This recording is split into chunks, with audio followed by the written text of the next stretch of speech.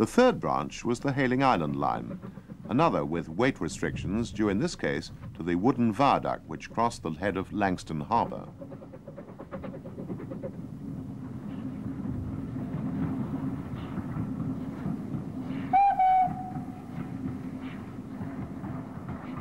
This little branch was well known in the 1950s as it was dominated by the famous London, Brighton and South Coast Railway class A1X Terrier tanks, built to the designs of William Stroudley from 1872 to 1880.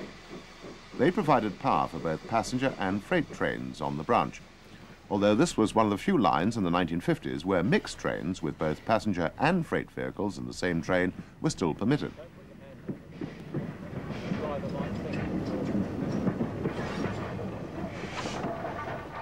Note in the foreground the small wooden coal stage. The engines were stabled here during the week and worked the four and a half miles run to Havant, a station on the Portsmouth to Guildford and Brighton routes. Many of this famous class lives on in preservation, but not this one. Number 32661 was one of those fitted with a spark arrestor on its chimney to work at Newhaven Harbour earlier in its career.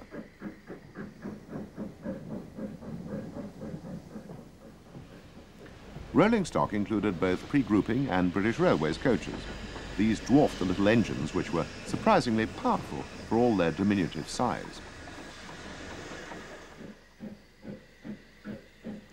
In the summer, the line boasted a 15-minute frequency, but it was closed in 1963.